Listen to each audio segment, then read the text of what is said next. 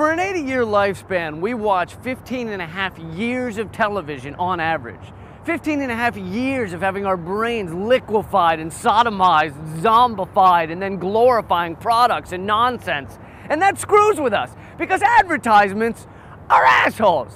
They're assholes. Imagine if an advertisement were just a regular guy walking up to you on the street, just going, hey, hey, you, hey, Hey, if you wore these jeans, then the hot girls would really do you. I mean like hot girls, not that ugly broad you call a girlfriend. And by the way, could you mention to her that she needs to lose a little weight and do something about her hair? And she could do it too if she would just use these diet pills and this hair gel. And by the way, both of you guys should probably be smoking these cigarettes and drinking this beer. Then you'd be really cool. Although your teeth are looking a little yellow, but we can fix that if you would just use this tooth whitening shit. And then the hot girls would really do you. And by the way, are you happy with your penis size? If you are, that's cool. A lot of guys are, are happy with uh, fun size. Is that what you call that? Fun size? A lot of girls like that. I mean, I haven't met any, but I bet there are some. But if you change your mind, all you'd have to do is take a couple of these babies, and soon you would have to call up guys to help you carry your junk around like a train on a wedding dress. But how are you going to call your junk carriers with that crappy phone you got there?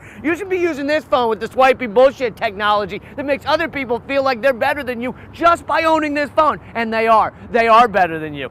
Oh my God, all this stuff you need and don't have is making me anxious. Is it making you anxious? Is it? Is it? Is it? Are you anxious now? Are you? Are you? Are you? Well, then all you'd have to do is take a couple of these, and in two weeks' time, you would feel better than anything. Plus, bonus side effect, these pills also make your ass hair shiny and more manageable with extra bounce. Anyway, I gotta go because your girlfriend just decided she looks pretty good in a vintage dress, and I gotta turn that around quick before she stops taking the Ambien Prozac cocktail I gave her, and then she'll stop shopping continuously in order to fill the void created by self hatred, created by me.